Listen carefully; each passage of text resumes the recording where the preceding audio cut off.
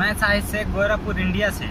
आज आपको बताऊँगा ऑटोमेटिक गियर शिफ्टिंग के बारे में। ऑटोमेटिक गियर कैसे लगाया जाता है और किस तरह से लगता है और क्या क्या इसमें ट्रिक होता है, ठीक है? तो चलिए शुरू करते हैं आज का वीडियो जैसा कि आप देख रहे हैं, हमारे पास मारुति की Alto LXi automatic gear shifting है।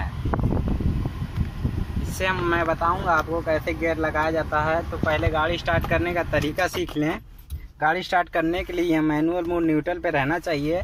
और क्लच ये जो है ब्रेक ब्रेक क्लच एक ही में होता है। इसको इसको प्रेस करके चाबी ऑन करके चाबी मारा जाता तब गाड़ी स्टार्ट होती है। या तो क्लच प्रेस नहीं किए रहेंगे, या तो गाड़ी न्यूट्रल पे नहीं रहेगी तो गाड़ी स्टार्ट नहीं होगी। चलिए दोस्तों, मैं आपको इनका मतलब बता देता हूँ। आर जो होता है, इसका मतलब होता है रिवर्स एन मतलब होता है न्यूटन और डी मतलब होता है ड्राइव मोड और इधर यम लिखा है, जो यू मैनुअल मोड होता है, जो प्लस है, वो हाई स्पीड होता है और जो माइनस है, वो लो स्पीड होता है. तो अब गियर लगाने के लिए अगर आपको आराम से चलना है तो आप मैनुअल मोड पे जा सकते हैं. अगर आपको थोड़ा स्पीड चलना है तो ड्राइव मोड पे जा सकते हैं. अगर आपको बैक जाना है तो ये रिवर्स मोड ले सकते हैं.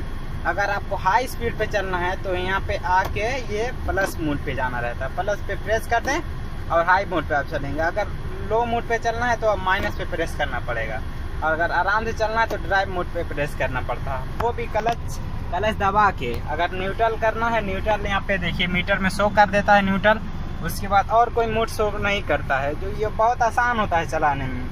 मैनुअल मोड जो होता है, उसमें बहुत दिक्कत होती है। सिर्फ़ ऑटोमेटिक इसलिए गिर दिया है ताकि कोई भी ड्राइव करने में आसानी हो जाए। लोगों को बहुत दिक्कत होती है ड्राइव करने में।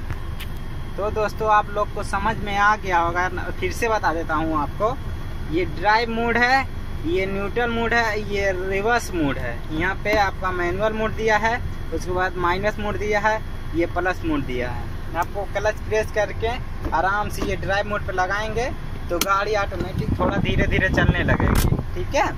उसके बाद अगर आपको बैक करना है तो रिवर्स मोड लगा दीजिए। एकदम इजीली आराम से प्रेस करेंगे धीरे से अपने आप ये जगह पे। इसके जो स्प्रिंग का डिज़ाइन होता है, बहुत स्मूथ बना रहता है। जहाँ पे करेंगे, आराम से चला जाएगा।